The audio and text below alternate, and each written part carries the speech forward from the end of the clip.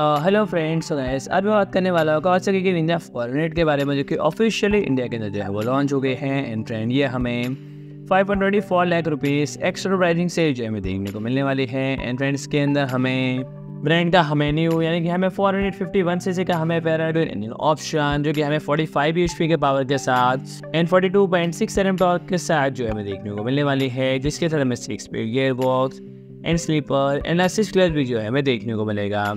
And friend इसके अंदर हमें सिंगल कलर ऑप्शन है जो हमें अवेलेबल देखने को मिलेगा, जो कि हमें मेटालिक स्पार्क ब्लैक के नेम से। एंड साथ ही में हमें जो एस ई वेरियंट देखने को मिलता है, जो कि हमें क्या हो सके कि हमें रेसिंग टीम कलर्स के साथ जो हमें देखने को मिलने वाला है। एंड इसके अंदर हमें एल सी डी जो कि हमें एस ई मॉडल के अंदर हमें colour T F T display and साथ ही में हमें ब्लूटूथ कनेक्टिविटी भी जो है देखने को मिलने वाली है। एंड इसके फ्रंट में हमें telescopic front forks and rear में हमें मोनोसर एब्जर्वर्स एंड फ्रेंड फ़िलहाल इस बाइक के बारे में इतने ही फीचर्स एंड स्पेसिफिकेशन वही देखने को मिलते हैं। एंड गाइस और पेगर्स के बारे में कुछ इन्फॉर्मेशन आती है तो जल्दी मेरे को न्यूडे लेके आऊँगा। तो फ्रेंड्स आज के लिए इतना ही। एंड फ्रेंड्स अगर आपको हमारे प्लेट पर मेरी वीडियोज़ देखने हो तो फ्रेंड हमारे चैनल को सब्सक्राइब करें। एंड वीडियो अच्छा लगे तो लाइक करें शेयर करें एंड कमेंट करें।